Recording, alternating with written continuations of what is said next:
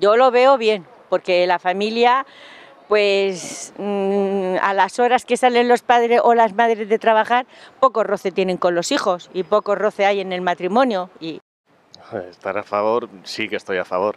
Pues lo, lo veo mm, eh, que sería positivo para las familias, para los hijos, para poder compartir tiempo con, en familia. No estoy a favor, puesto que si nos ponemos esos horarios a gusto de todas las personas que, está- que tienen trabajo, que tienen compromisos, pues esto sería un repanoche.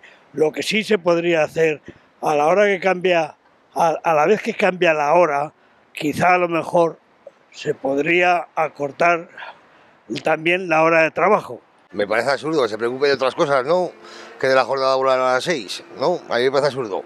Hay muchas empresas en las que ya sale la gente a esas horas y luego para la vida de los autónomos yo creo que no va a variar mucho porque vas a tener que seguir trabajando hasta tarde. yo que depende del trabajo que se tenga.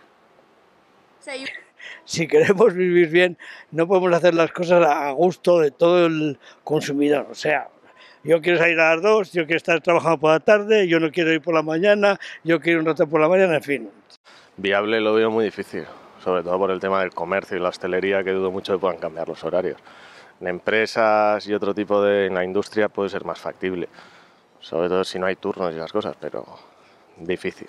Lo único que no me parece compatible es con la gente que trabaja hasta las seis o las compras como las hace. Entonces, bueno, por ahí que fueran turnos más bien, que es todo el mundo termina a las seis, pero que fuera un poco conciliar la vida familiar. Por mucho que sea una promesa, la realidad va a ser diferente a lo que, a lo que vaya a suceder. Para todos los pequeños comercios mm, yo creo que no va a poder ser porque la gente sale y tiene que poder ir. Que cierren a las 9 de la noche no lo veo bien, ¿qué quieres que te diga? Porque ¿qué gozan esa, esa familia? No gozan nada.